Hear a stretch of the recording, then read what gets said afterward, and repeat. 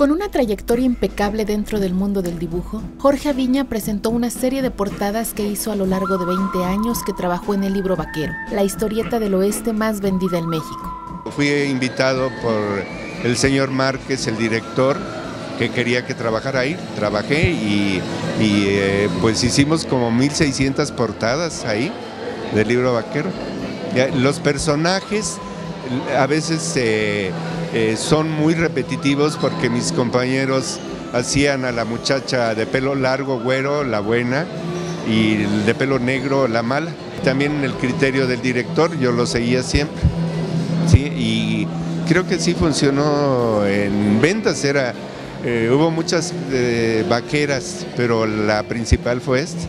Fue una época muy importante, me, me sirvió para eh, tomar muchos caminos y por eso le digo que no dejo de trabajar. He andado buscándole en todo. Mujeres voluptuosas y sensuales, rubias o morenas, pero casi siempre acompañadas de hombres que bien podrían ser vaqueros, criminales o policías, visten las paredes de una afamada cervecería de la colonia tabacalera en esta ciudad. Era un oeste mágico, en que el malo siempre era castigado y el bueno salía triunfante con la muchacha eran repetitivas, pero le gustaba a la gente. Descendiente de padre y abuelo pintores, se convirtió en uno de los dibujantes más importantes en su momento. El mexicano es eh, bueno para las historias y había muy buena, buenos argumentistas, muy buenos dibujantes y, lo, y era muy importante el grupo que teníamos.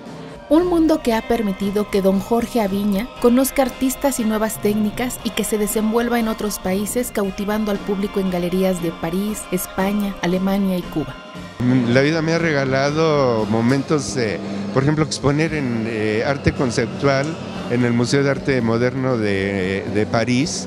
Eh, para mí eh, nunca pensé llegar ahí, es algo sorprendente he expuesto en París, en Barcelona, eh, hasta en La Habana expuse caricatura, me ha hecho viajar, he conocido gente, eh, le agradezco mucho al dibujo todo lo que me ha dado.